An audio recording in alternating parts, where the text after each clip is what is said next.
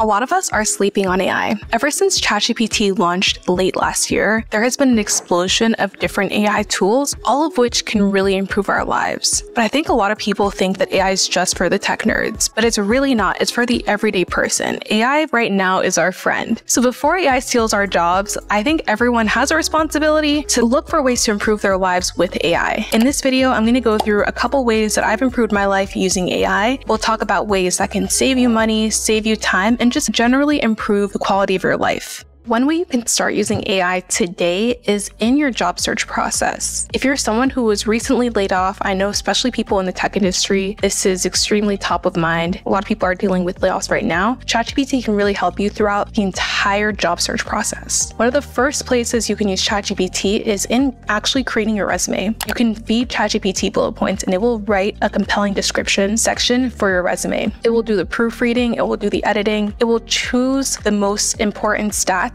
that will make you look the best and tell you exactly what you need to highlight. Once you've used ChatGPT to help you develop your resume, then what you can actually do is you can put in the job description alongside with your resume and ChatGPT will even create unique resumes for that specific job description. And this is not just for resumes too. ChatGPT can actually help you write your cover letter. So you can feed ChatGPT the job posting, you can feed ChatGPT your resume, and then ChatGPT can actually give you a really compelling cover letter that you can submit for that job role. And finally, once you've applied to jobs and you have to start interacting with recruiters and different interviewers, ChatGPT can really handle the back and forth and help you write professional emails so that you can get the job. It can even handle tricky email situations like negotiating your job offer. So I can't lie, this is my favorite use case of AI, which is art generation. There are so many amazing AI art generation tools that exist right now. For example, you have Jasper AI, you have OpenAI DALL-E, and you also have Midjourney, which is my personal favorite. It's so cool because all these tools can take text and immediately turn it into a visual, which is amazing. So ideas that you have been thinking about wanting to see transformed into artwork can happen easily. As someone who doesn't have any art skills, I cannot draw, I cannot paint. This is is mind blowing to me because I could have artistic ideas and thoughts, but I was never able to translate them to actual physical art. Of course, I could learn to be an artist, but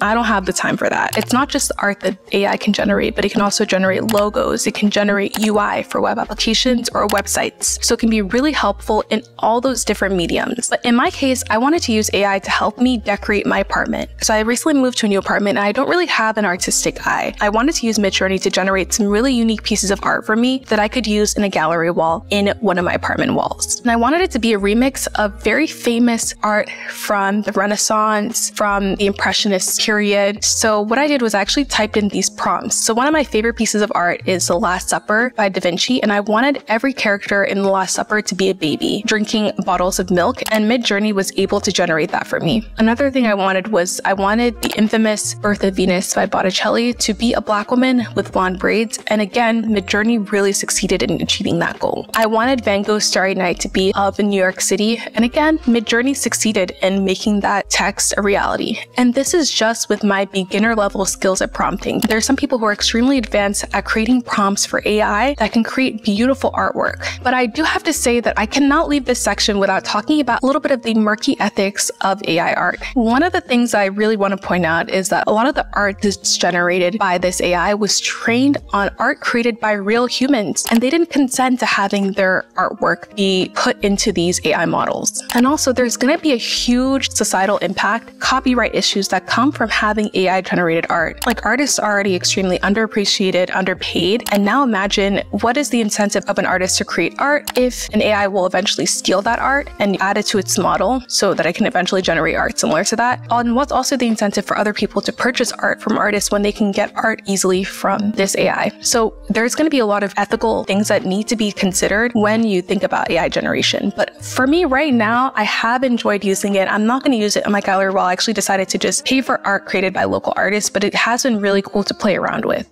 So let's talk about one of the more controversial use cases of AI, which is how it's being used by students to complete their schoolwork and also to learn new skills. So I'm so lucky that I'm not a student during this time because the temptation to learn nothing from school and just rely on AI to write my essays would have been so strong for me. But I actually think AI can be a really helpful tool and there are more ethical ways for students to use it to actually help them with their coursework. For example, there's a tool called Otter AI where students can actually record lectures, get notes from the lecture, as well as summaries from the lecture. And with the notes from that lecture, they can use another tool called Wisdolia that can create flashcards from a set of your notes. This can be a really helpful tool for students who are looking to make sure that the information that they learn in class sticks. But outside of these ethical ways of using artificial intelligence, students can also, of course, use AI to help them write essays. For example, you can use Notion AI and ChatGPT. If you provide it with an outline, it will write a full essay for you, which is honestly really crazy. And even though there are some new AIs right now that can detect if an essay was written by an AI, it's still something that's going to be a huge concern for students and professors in the future. My programmers, you guys are not alone. There are also two tools that are really good for helping you with programming and helping you learn new programming languages, which are ChatGPT, of course, and GitHub Copilot. Both tools can actually help you finish functions, help you finish projects, and learn new programming languages. Speaking of studying or learning a new skill, it's really hard to learn something by yourself without structure or a community to support you. That's why I want to thank the sponsor of this video, Practicum. Practicum is an online coding bootcamp that's accessible for people with all different backgrounds. Whether you're interested in software engineering, data analytics, data science, or Q&A engineering, Practicum has a program for you. If you're trying to figure out your next career decision, Practicum also offers a totally free quiz that only takes two to three minutes to complete.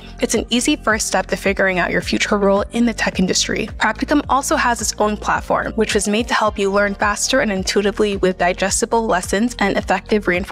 Plus, they also have an opportunity for students to get real world practice with a real company during the program through their externship program. In the bootcamp, you'll work on learning business projects and get detailed feedback from pros working in the field. And if you're not hired within six months after graduation, Practicum will refund you your tuition. If you're interested in getting into the tech industry through an online bootcamp, please visit my link in the description box and don't forget to use my promo code BUKOLA for a 20% discount on any program. Thank you again, Practicum, for sponsoring this video. Let's go to the next to use AI. Let's start with the first way I've started using AI, which is in my fitness and my health routines. I put on a little bit of weight during the pandemic and I've been trying to lose it ever since. I know it's been three years, but I've really been leveraging AI and specifically ChatGPT, OpenAI's AI language model, to help me reach my fitness and health goals. So the way I've been using AI to do this is I created a prompt for ChatGPT listing out my weight, my height, my lifestyle, my current fitness level, my dietary restrictions, and told it the goal I wanted to reach and by the time I wanted to reach that goal. So basically the information you would provide a nutritionist or a dietitian. And almost immediately, ChatGPT was able to develop an exercise routine and a nutrition plan that could last me an entire week, all to help me reach my goal by the specific time that I wanted to reach it. But it wasn't enough for me to do that. I wanted to get even deeper into the details and I wanted ChatGPT to be even more precise in its nutrition plan. So I asked ChatGPT to give me my nutrition plan in grams to make my calorie tracking way more accurate and ChatGPT ChatGPT was able to do that easily. I also am such a huge fan of different fitness trainers, specifically Natasha Oceane, that's here on YouTube, and I wanted ChatGPT to create an exercise plan very similar to one that she would create, and ChatGPT was also able to do that. If you look at a plan on Natasha's website versus the generated plan on ChatGPT, you'll see that it's actually very similar. On top of all of these things, I wanted ChatGPT to actually give me a grocery list that I could take to the grocery store and buy all of my items that week. And again, ChatGPT was able to do that as well well. But I do want to talk about some limitations of using ChatGPT for your nutrition and fitness goals. For example, I gave ChatGPT a goal of losing 20 pounds in one month, which for my frame and body, it's not a very realistic goal. And ChatGPT gave me a calorie goal amount of 950 calories, which is extremely unhealthy for a woman to eat. Even though it did really flag that this was a concern and that you should check in with a dietitian and registered personal trainer. So right now, I don't think ChatGPT will replace a certified nutritionist and a certified personal trainer, but I do think it can really help you living a healthier lifestyle and help you reach your wellness goals.